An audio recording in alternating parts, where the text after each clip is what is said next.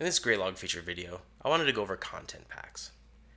Content packs are a convenient way to share configuration data. Items like parsing rules, alerts, dashboards can all be shared through content packs. Content packs can be found out on the Graylog Marketplace. If you go out to our Marketplace website, you'll see that there's a nice button here for content packs where you can click on and sort through the different content packs that we might have. Any one of these that you click on, you can then download that one pick up the top here, you can download that from GitHub. And it will download a JSON file, which then you can import into the system.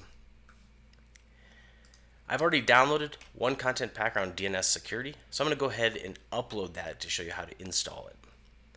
So if I come up here into our system content packs location, I can say upload.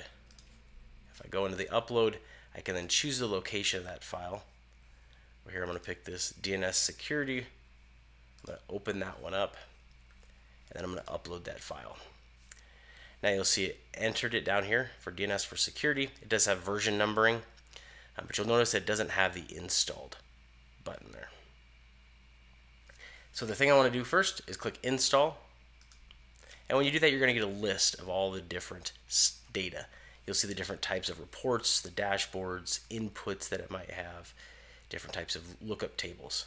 So you can get a quick overview of all the stuff that it's going to import, as well as some of the other parameters. In this case, we want to do the Packetbeat system to look for that DNS data, and all this is actually described through that README file when you download the content pack.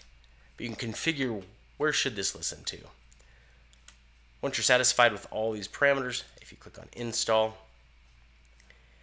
the content pack will come in and be installed. And then if you open that up, you do have the option to uninstall if you need to.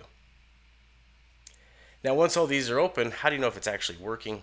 You can come into the different fields that were imported. So this one did import a dashboard. Here's a DNS summary dashboard. It also imported some alerts. And if I go here to the conditions, you can now see all these DNS alerts that have been installed automatically.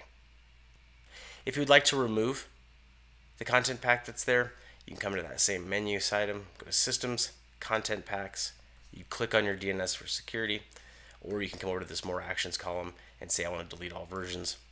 You then click on the DNS for security. You could then uninstall this. It'll go through each one, making sure that you want to remove all that data. Once you confirm that, the pack is then uninstalled successfully, and then from here you can delete that if you'd want to. So I'll go ahead and delete that content pack. Now that content pack is gone. So if that's a quick understanding of how to download content packs, import them, making sure they're installed, seeing all the data that it presented to you, and then removing that content pack as well. Thanks for watching this video, and happy logging.